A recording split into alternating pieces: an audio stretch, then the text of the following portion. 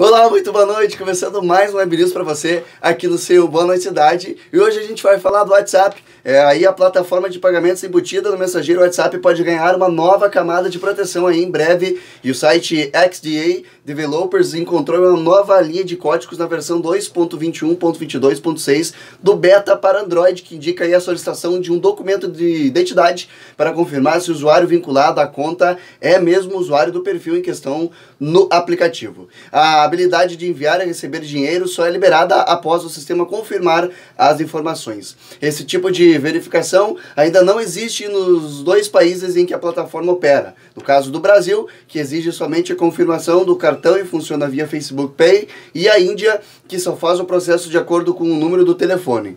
Por enquanto, a adesão à plataforma tem sido baixa em território nacional. Mas e aí, quando?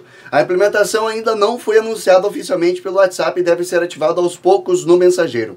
Até por isso, ainda não é possível saber se a função será lançada globalmente ou só em novas regiões que exigem esse recurso para realização. Além disso, é possível que esse seja apenas um mecanismo válido para quem utiliza os pagamentos em contas comerciais. Até o momento, o WhatsApp não comentou oficialmente sobre a mudança que eh, não foi confirmada pelo app de mensagens. Esse é o nosso Web News de hoje. A gente volta amanhã trazendo informações atualizadas para você aqui no seu Boa Noite Cidade. Beleza? Uma boa noite a todos e até lá.